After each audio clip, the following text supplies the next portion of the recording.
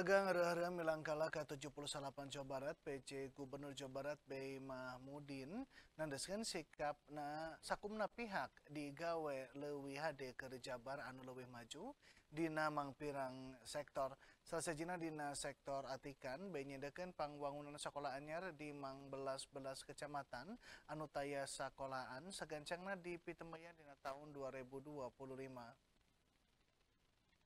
Nalika diwawancara satu tas upacara sarta rapat paripurna Mialing Poe Milangkala K78 Provinsi Jawa Barat, penjabat Gubernur Jawa Barat Bayi Mahmudin nandeskeun pamarentah sarta masyarakat kudu digawe kalawan HD, sangkan Jawa Barat lebih maju timbang pirang sektor.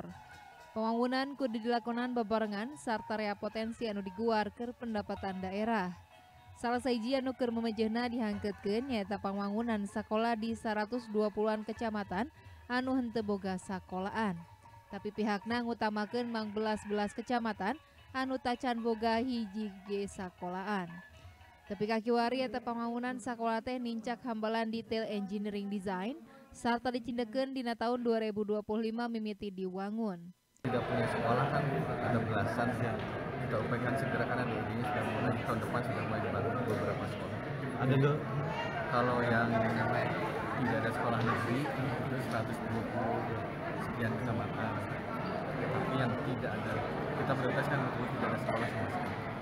B nyindekeun pihakna keur memejehna neuleman pola rukun gawe keur pangwangunan eta sekolah sangkan ulah tepika patukang tonggong kapentingan pihak nage memeres akuntabilitas anggaran ke pembangunan serta tata kelola pemerintahan anu kariksa ulah tepika mucunghulkeun pasualan dina mangsa jaga.